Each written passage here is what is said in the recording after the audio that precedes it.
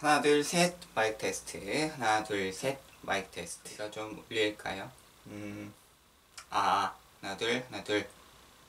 자, 오늘은 빅뱅에 대해서 함께 자, 오늘은 어, 생명과학 원. 오늘은 화학원에 대해서 알아볼 건데 자, 화- 오늘은 물리원이에요. 물리원에서는 어, 속도와 가속도 거기에 대해서 기본적인 개념 함께 알아가 볼 수 있도록 하겠습니다.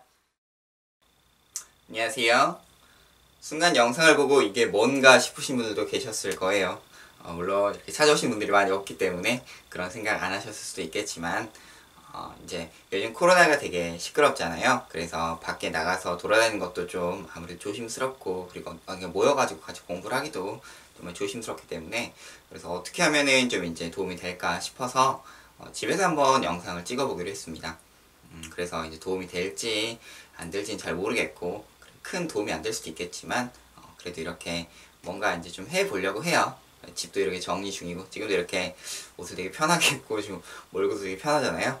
뭐 원래 제 일상 자체가 편하긴 했지만 네 그래서 이제 여기 벽인데 벽에다가 이제 칠판 조그만 거 하나 달아가지고 이제 이렇게 간단하게 좀 강의를 좀 찍어보려고 합니다. 음, 지금 이제 칠판도 이제 주문을 해뒀고요.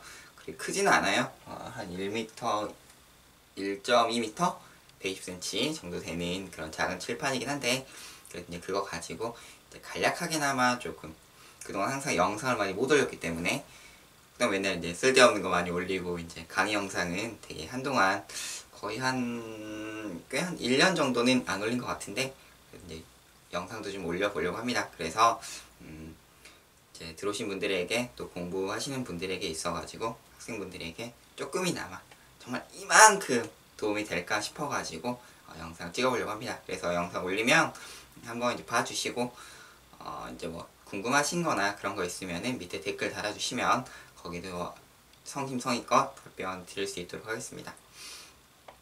어, 어쨌든 이제 나라가 되게 시끄럽지만 어서 빨리 좀 이제 잠잠해지고 모든 것이 좀 원활하게 좀 돌아갔으면 하는 그런 심정이고요.